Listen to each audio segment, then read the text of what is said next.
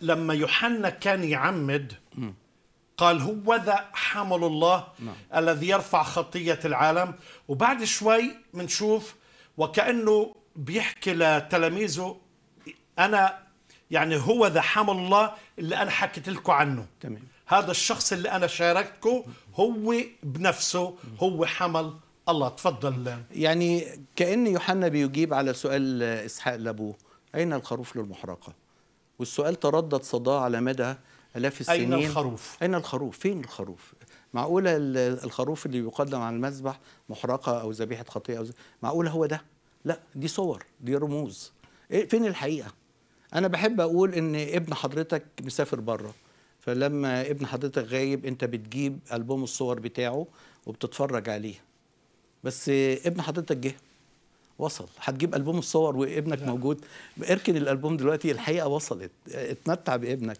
فكأن يوحنا المعمدان بيقول إيه؟ خلاص اركنوا الألبوم. الحقيقة وصلت. فين الحقيقة دي؟ أهو. فقال مرتين المرة الأولى وهم فاهمين قال هو إذا حمل الله آه، إيه؟ عمله هيرفع خطية العالم. اليوم الثاني قال آه، عبارة آه، يعني جزء من العبارة. قال هو ذا حمل الله. ده بيتكلم عن شخصه. فالعبارة الأولى بتتكلم عن عمله هيرفع خطية العالم مش سوف يرفع خطية العالم أو مش رفع خطية العالم لا هو الآن بيرفع خطية العالم. زي الرب يسوع المسيح يخلصنا من كل تجربة أو شر. فدي عملية دائمة بيخلص بي بي بيرفع خطية العالم ومن حيث شخصه هو حمل الله يعني إيه حمل الله؟ God provide himself الله يرى لنفسه أهو اللي ربنا بعته.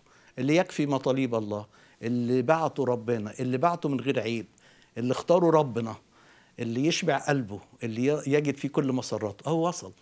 وصل. وهو شاور الراجل المحترم قال روح وراه. فالتلميذ ابتدت تروح وراه وهو فرح بكده. ينبغي أن ذاك يزيد وإني أنا أنقص. رائع. وقال عبارة يعني عبارة روعة. قال يأتي بعدي في الزمان. رجل صار قدامي لأنه كان قبلي, قبلي. فهو أزليته كان قبلي. لكن في الزمان جاء بعدي ويجب أن تكون له المكانة اللي أفضل مني. وقال عبارة يعني برضو الناس بتفتكرها إنها بتتكلم عن اتضاع يوحنا لكن ليها معنى. قال أنا ما أقدرش أنحني لأحل سيور حذائه. ما أقدرش أخلع- أخلعه نعله. دي إشارة إلى شريعة في العهد القديم اسمها شريعة الفكاك أو الفداء. لو القريب الأول الولي الأول مش هيقوم بواجب الولي تجاه أرملة الميت قريب لازم يكون القريب فهي تخلعه نعلها نعله وكده. قال لا ده جه محدش يقدر يخلعه نعله. ده جه اللي هيفدي أهو جه اللي محدش يقدر يوطي ويخلعه نعله. الفادي جه